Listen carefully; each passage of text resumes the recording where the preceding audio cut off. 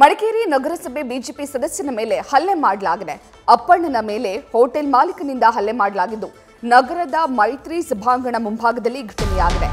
ಕಾರಲ್ಲಿ ತೆರಳ್ತಾ ಇದ್ದಂತಹ ಸಂದರ್ಭ ಅಪ್ಪಣ್ಣನನ್ನ ತಡೆದು ಗ್ಯಾಂಗ್ ಥಳಿಸಿದೆ. ಇನ್ನು ಹಲ್ಲೆ ತಡೆಯಲು ಬಂದಂತಹ ಮಹಿಳೆಗೂ ಕೂಡ ಯುವಕರು ಧಮಕಿ ಹಾಕಿದ್ದಾರೆ. ಹೋಟೆಲ್ ಮಾಲೀಕ ಮೋನೀಶ್ ಸ್ನೇಹಿತರಿಂದ ಈ ಹಲ್ಲೆ ಮಾಡಲಾಗಿದೆ ಅಂತ ಹೇಳಲಾಗ್ತಾ ಇದ್ದು ಅನಧಿಕೃತ ಹೋಟೆಲ್ ಎಂದಿದ್ದಕ್ಕೆ ಹಲ್ಲೆ ಮಾಡಿರುವಂತಹ ಶಂಕೆ ವ್ಯಕ್ತಪಡಿಸಲಾಗ್ತಾ ಇದೆ.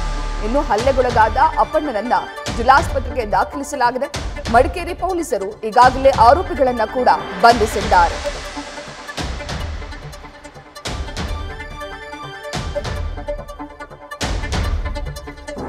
ಮಡಿಕೇರಿ ನಗರಸಭೆ ಬಿಜೆಪಿ ಸದಸ್ಯನ ಮೇಲೆ ಹಲ್ಲೆ ಮಾಡಲಾಗಿದೆ. ಹೋಟೆಲ್ ಮಾಲೀಕ ಹಲ್ಲೆ ಮಾಡಿರುವಂತದ್ದು. ಅಪ್ಪಣ್ಣ, ಮಡಿಕೇರಿ ನಗರಸಭೆ ಬಿಜೆಪಿ ಸದಸ್ಯ ಅಪ್ಪಣ್ಣನ ಮೇಲೆ ಹೋಟೆಲ್ ಮಾಲೀಕ ಹಲ್ಲೆ ಮಾಡಿದ್ದಾರೆ.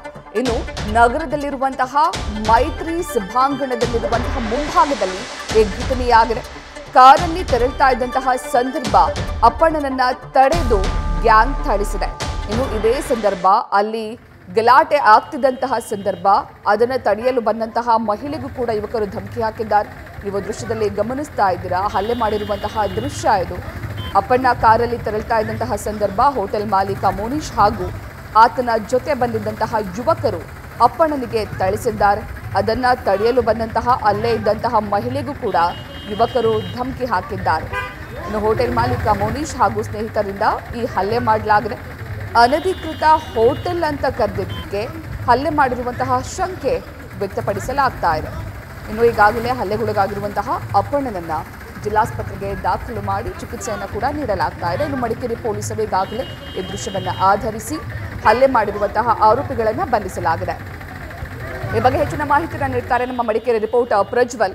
ಪ್ರಜ್ವಲ್, ಈ ಹಲ್ಲೆ ಆಗಿರೋದಕ್ಕೆ ಕಾರಣ ಏನು? ಮತ್ತೆ ಹಲ್ಲೆ ಆಗಿದ್ಯಾವಾಗ ಎಸ್ ಪ್ರತೀಕ್ಷಾ ಏನು ಮಡಿಕೇರಿ ನಗರಸಭೆಯ ಬಿಜೆಪಿ ಸದಸ್ಯ ಅಪ್ಪಣ್ಣವರ ಮೇಲೆ ಹೋಟೆಲ್ ಮಾಲೀಕ ಏನು ಹಲ್ಲೆ ಮಾಡಿರ್ತಕ್ಕಂಥದ್ದು. ನಿನ್ನೆ ಸಂಜೆ ಮಡಿಕೇರಿ ನಗರದ ಮೈತ್ರಿ ಸಭಾಂಗಣದ ಬಳಿ ಈ ಒಂದು ಘಟನೆ ನಡೆದಿರ್ತಕ್ಕಂಥದ್ದು. ಅಂದ್ರೆ ಕಾರ್ನಲ್ಲಿ ತೆರಳುತ್ತಿದ್ದಂತಹ ನಗರಸಭಾ ಸದಸ್ಯನನ್ನ ಯುವಕರ ಗುಂಪು ಏನು ಅಡ್ಡ ಹಾಕಿ ಅವರಿಗೆ ಒಂದು ಹಲ್ಲೆ ಮಾಡಿರ್ತಕ್ಕಂಥದ್ದು. ಅಂದ್ರೆ ಈ ಒಂದು ಪ್ರಕರಣದ ಹಿನ್ನೆಲೆಯನ್ನ ನೋಡ್ತಾ ಹೋಗೋದಾದ್ರೆ, ಏನು, ಮಡಿಕೇರಿ ನಗರದಲ್ಲಿ ಭಾರಿ ಮಳೆಯಾದ ಹಿನ್ನೆಲೆಯಲ್ಲಿ ನಿನ್ನೆ ಹಾಗೂ ಮೊನ್ನೆ ದಿನ ಏನೊಂದು, ಒಂದು ಹೋಟೆಲ್ ಅಂದ್ರೆ ಒಂದು ಸಣ್ಣ ಒಂದು ಇವ್ರದ್ದು ಕ್ಯಾಂಟೀನ್ ಏನಿತ್ತು, ಮೋನಿಶ್ ಎಂಬವರಿಗೆ ಸೇರಿದಂತ ಕ್ಯಾಂಟೀನ್ ಅದರೊಳಗೆ ನೀರು ಕೂಡ ನುಗ್ಗಿತ್ತು. ಈ ಹಿನ್ನೆಲೆಯಲ್ಲಿ ನಗರಸಭೆಯವರು ಅಲ್ಲಿಗೆ ವಿಸಿಟ್ ಮಾಡಿದ್ರು. ಆ ಸಂದರ್ಭ ಈ ಒಂದು ಹೋಟೆಲ್ ಅನಧಿಕೃತವಾಗಿದೆ ಅಂತ ಏನೊಂದು ಈ ಬಿಜೆಪಿ ಸದಸ್ಯ ಅಪ್ಪಣ್ಣ ಅವರು ಹೇಳಿದ್ರು ಎಂಬ ಒಂದು ಮಾತು ಕೇಳಿ ಬಂದಿದೆ. ಈ ಹಿನ್ನೆಲೆಯಲ್ಲಿ ಈ ಒಂದು ಹೋಟೆಲ್ನ ಮಾಲೀಕ ಮೋನಿಶ್ ಹಾಗೂ ಆತನ ಸ್ನೇಹಿತರು ಏನು ಕಾರ್ನಲ್ಲಿ ತೆರಳ್ತಾ ಇದ್ದಂತಹ ನಗರಸಭಾ ಸದಸ್ಯರನ್ನ ಅಡ್ಡಗಟ್ಟಿ ಒಂದು ಹಲ್ಲೆಯನ್ನ ಮಾಡಿರ್ತಕ್ಕಂಥದ್ದು. ಹಲ್ಲೆಯಿಂದ ಏನೊಂದು ಅಪ್ಪಣ್ಣ ಅವರ ಮುಖಕ್ಕೆ ಗಾಯಗಳಾಗಿರ್ತಕ್ಕಂಥದ್ದು ಅವ್ರಿಗೆ ಜಿಲ್ಲಾಸ್ಪತ್ರೆಯಲ್ಲಿ ಚಿಕಿತ್ಸೆಯನ್ನ ಕೂಡ ಕೊಡಿಸಲಾಗಿದೆ. ಇನ್ನು ಪ್ರಕರಣ ಮಡಿಕೇರಿ ನಗರ ಠಾಣೆಯಲ್ಲಿ ದಾಖಲಾಗಿದೆ. ಈ ಒಂದು ಪ್ರಕರಣಕ್ಕೆ ಸಂಬಂಧಿಸಿದಂತೆ ಆ ವಿಡಿಯೋವನ್ನ ಆಧರಿಸಿ ಪೊಲೀಸರು ಆ ಒಂದು ಹಲ್ಲೆ ನಡೆಸಿರ್ತಕ್ಕಂಥವ್ರನ್ನ ಬಂಧಿಸಿದ್ದಾರೆ. ಪ್ರತೀಕ್ಷಾ. ಧನ್ಯವಾದಗಳು ಪ್ರಜ್ವಲ್. ತಮ್ಮೆಲ್ಲ ಮಾಹಿತಿಗಾಗಿ. News first. ಪ್ರತಿಕ್ಷಣ ನಿಮ್ಮೊಂದಿಗೆ.